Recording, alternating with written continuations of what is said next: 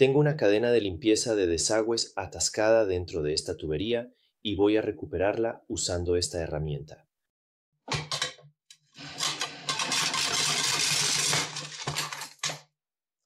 Así de simple. Es un diseño en espiral. Fue inspirado por nuestros clientes.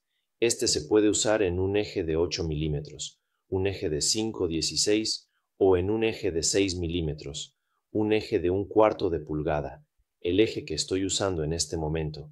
Tiene un poco de juego, puedes ajustarlo ligeramente según lo necesites. También tenemos para un eje de 3 octavos de pulgada, que son 10 milímetros, y para un eje de media pulgada, que son 12 milímetros. Puedes conseguir esto en plumbertools.com en cualquier parte del mundo, excepto en la Unión Europea, donde lo consigues en surtools.com. Gracias por ver.